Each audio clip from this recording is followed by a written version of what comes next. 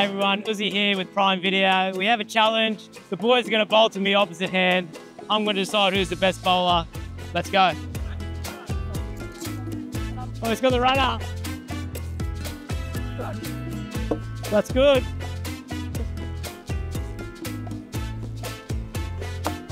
That was good. That's not bad. It's all right. That's good.